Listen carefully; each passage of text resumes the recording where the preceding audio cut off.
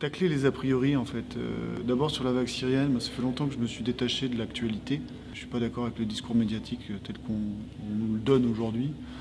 Mais il y avait quand même ce qui moussait de cette vague syrienne, c'était tous ces a priori qui arrivaient et qui m'allaient pas.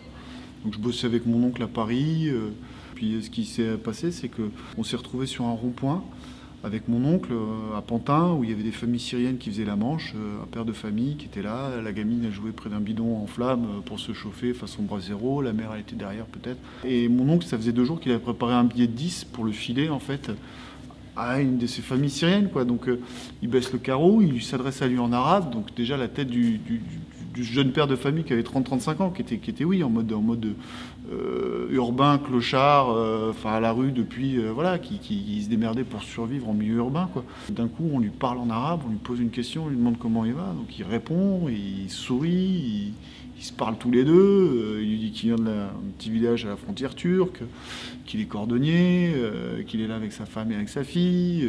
Et puis le feu repasse au vert. Mon oncle lui file le billet 10, on reprend chacun nos vies. Et donc ça a résonné par rapport à l'idée que j'avais eue. Et puis après, bon, je veux pas faire de pub au 13 novembre, mais on s'est pris une claque un peu nationale. Et je me suis dit, bah finalement cette idée, ça peut être un joli message d'amour en réponse à ce message de haine. Simplement, ça cassera beaucoup d'a priori parce que les a priori ont été encore pires post-13 novembre sur la vague syrienne en disant que c'était des terroristes tous, enfin bon, les, conneries euh, habituelles qu'on peut entendre. Euh, j'ai fait un travail à la table avec mon oncle, avec Wassim. Le, scénario est passé du français à l'arabe. Donc il y a eu des choses à caler, il y a eu des choses à régler. Euh, donc il y a des choses qui se précisent ensuite, mais la structure en elle-même, et à 80%, le film était écrit et ça s'est fait assez, assez simplement, assez rapidement. Surtout que je connaissais mon oncle. Donc l'histoire de l'ordinateur, je me suis beaucoup beaucoup inspiré de la vérité, de celle que j'ai vécue étant petit et de toutes les années que j'ai passées à la ferme pour écrire quelque chose qui, puisse paraître après authentique et qui serve la vérité du propos. Euh, voilà, je me suis vraiment inspiré de la réalité je l'ai fictionné. C'est du bouche à oreille, hein, donc euh, voilà, c'est fait simplement. Moi j'ai emprunté 5000 euros à un copain, un bon copain qui me les a prêtés euh, voilà, pour amorcer on va dire la pompe du tournage. On a fait un Ulule.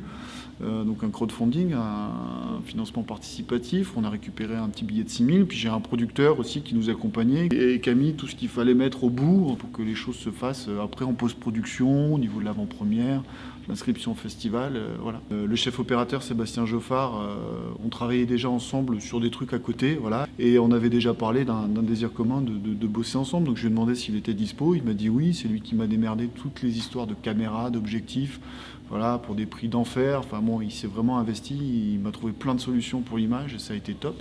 J'ai eu euh, la chance d'avoir euh, Alban Cousinard, maquilleuse qui était déjà avec moi sur euh, Narvalo, qui est ma cousine, voilà, et c'est un kiff de l'avoir à chaque fois sur mon plateau. Et puis après, le reste de l'équipe, c'est non, c'est des gens que j'ai rencontrés, qui étaient disponibles à ce moment-là, qui avaient envie qu'on regardait Narvalo.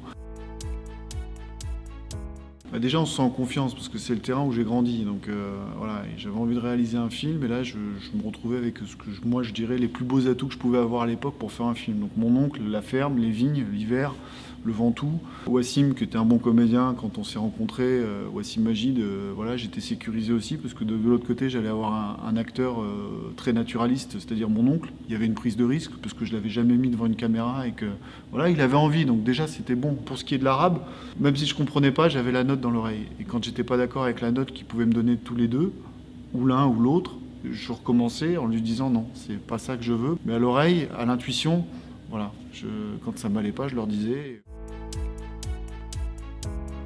On était à table et, Bob, qui bien sûr euh, avec Mimi euh, toujours se prend un peu la tête parce que bon, bah, c'est des grands buveurs devant l'éternel.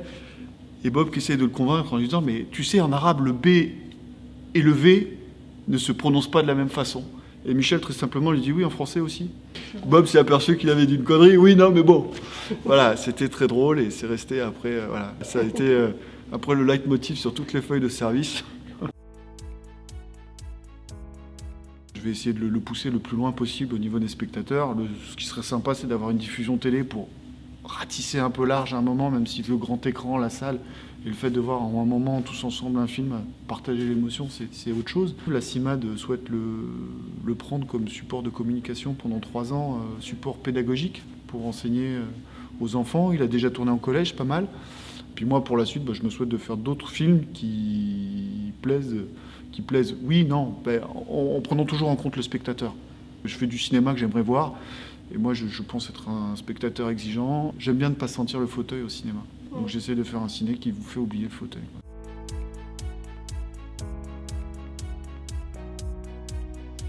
Il y a deux choses. Déjà, le budget limité, totale liberté, automatiquement, ça t'enlève de la contrainte. Et la contrainte t'aide à tourner finalement ton histoire et ça lui donne une identité.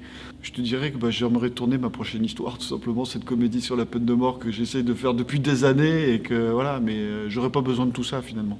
Si j'en avais juste un petit peu, déjà je me débrouillerais pour la faire et la faire comme il faut.